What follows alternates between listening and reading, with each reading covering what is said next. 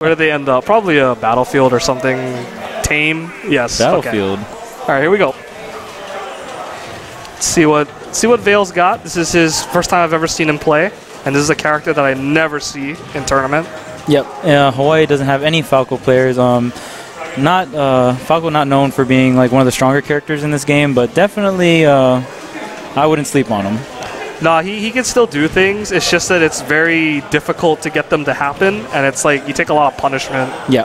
And um, from his spacey counterpart, Fox is actually a very like really good character in this game. He has a lot of weird stuff he can do to a lot of characters, and um, his neutral game is just really strong. He's very fast as well. Yeah. Falco does lack that speed. One thing, one thing Falco does have better that's better than Fox's though is his side B. Like when you do the short drop, um, short jump, short jump side B, Mm-hmm. it's so lagless, man. Good throw by Dan M. Got him off. Ooh. Ooh, the people's elbow that reaches so far, kills so early. The too. lean back. The lean back. Ooh, he went for it again. Mm-hmm. And Danel is looking very comfortable right now. He's got mid percent against a character not known for a killing. Yep.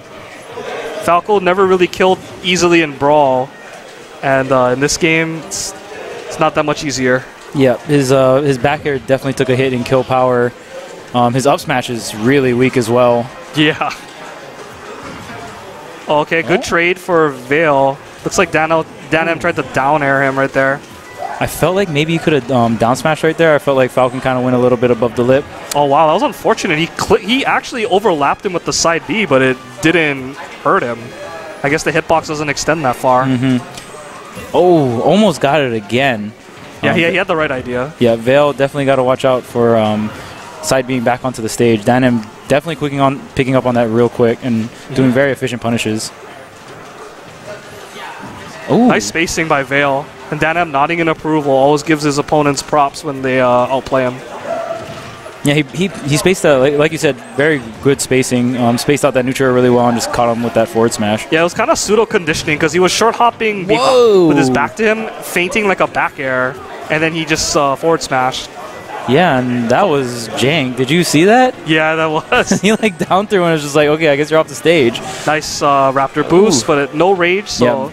If he had a little bit of rage, he would have got that kill. won't end it.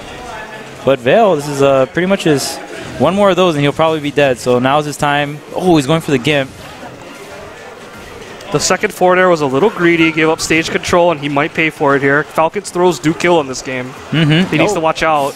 That's getting really close. Yep. Oh, oh wow, man. he missed oh, the ledge again. the fadeaway side B. We'll close that game out. Yeah, so but Vale's got a counter pick in his pocket, so we'll see what he what he does. He might change characters. Yep, definitely.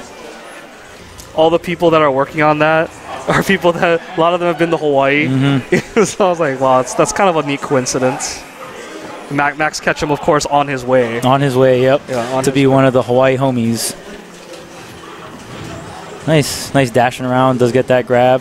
Oh, that was cute. That was a little cute uh, fake out by Dan M trying to read a jump, I guess. Mm-hmm. Relatively safe. Oh.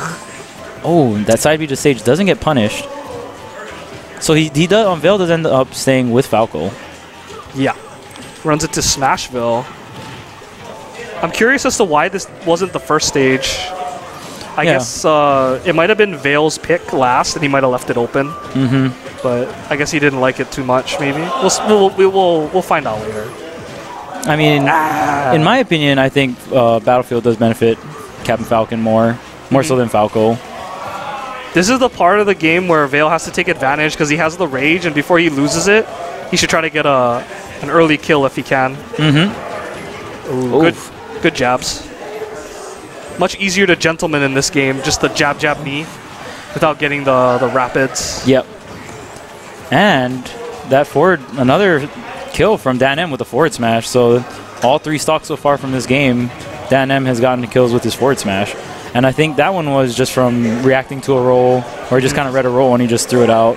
This is probably really hard for Falco too because he's a fast faller still, and Falcon combos fast fallers uh, pretty easily at low percent. Yeah. And the and usually in this game, if you're a fast faller, it's like you get comboed, but like in return you get a lot of mobility and speed.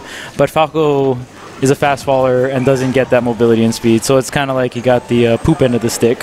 Very good near to the ground up air by Dan M. so close. Got the uh, neutral air afterwards. Yeah, and that was almost it.